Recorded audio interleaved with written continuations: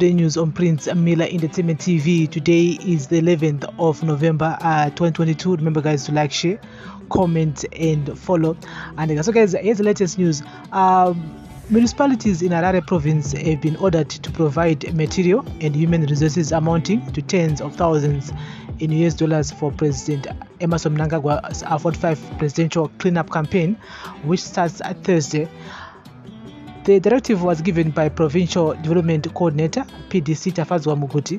The operation, which will target those illegally occupying or engaging in businesses on wetlands as well as sand poachers and brick molders, residential waste and emissions in Harare, Chitungwiza, Rua, Epworth councils ends on December 15 already reeling from low revenue streams and failure to provide expected services in their jurisdiction, councils will each have to provide 80 municipal officers, 10 tipper trucks, 3 front end loaders, 5 compactors, fuel, lunch, and refreshments for all personnel in the operation. According uh, to Echitungwiza municipality, the operation is in response to Mnangagwa concerned on increased environment related crimes within the metropolitan province. The report seeks to bring to Council's attention the impending 45 day presidential cleanup campaign code named Operation Zero Tolerance to Environmental Crimes, commencing on the 10th of November to 15th of December 2022 in Harare province. This report signed by Chitungwiza town clerk Evangelista Machona. This follows high level meetings held on the 7th and 8th November 2022 at Zimbabwe Investment Agency House and Rainbow uh, Towers, respectively. The operation is a response to the concerns raised by the Presidium over increased environmental crimes in Harare province. Additional manpower will be deployed from ZRP, 50 officers, Environmental Management Agency, EMA, Ministry of Local Government, Office of the President and Cabinet, and Vehicle Inspectorate Department VID. The operation will be headed by the Director, Local Governance, and deputized by Zimbabwe, the Public Police Chief Superintendent Operation, Chief Security Officers from the four councils, and desk officers from the Ministry of Local Government. Roles meant for Central Intelligence Organization CIO operatives are not specified in the document, as if Chitungwiza municipality could afford supporting the initiative Spokesperson Lavo Mayor said they were in a position to do so. Chitungwiza adopted this and is fully supporting the program. We ensure maximum support in terms of resources, said Mayor. Another council spokesperson, Innocent Ruwende, was not in a position to answer, referring all the questions to Muguti.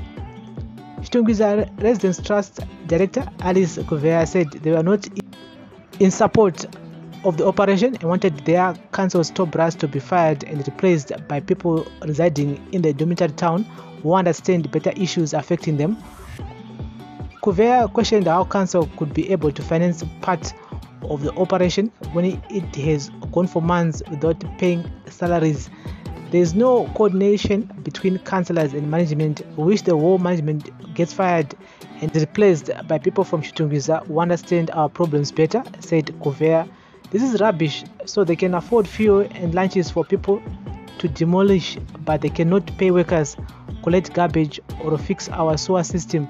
Kuwe said Council had no right to demolish anything, as it had recently forced residents on the same spaces to pay 2,000 US dollar as part of its regularization process. The four councils have been ordered to take ownership of all sand abstraction and brick molding sites and put bins every 80 meters. EMA has been ordered to collect refuse and garnish the cost from the four councils.